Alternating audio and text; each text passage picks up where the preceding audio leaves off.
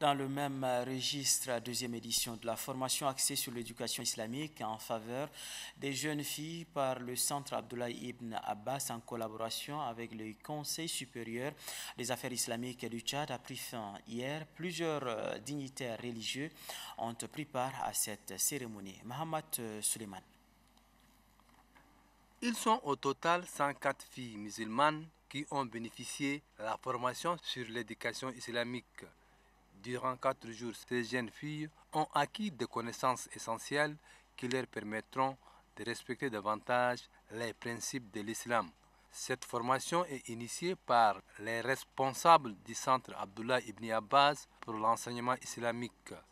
Les représentants du dit centre dans la région du Wadaï, Mohamed Saleh Ratou, soulignent que cette formation permettra aux bénéficiaires d'apprendre quelques notions en matière de religion. Il a par ailleurs indiqué que l'islam est une religion de paix, de tolérance et de pardon. Après avoir félicité et remercié les formateurs, le secrétaire général du Conseil supérieur des affaires islamiques du Tchad, Abdoudaïm Abdullah Ousmane, a insisté sur l'éducation des filles musulmanes.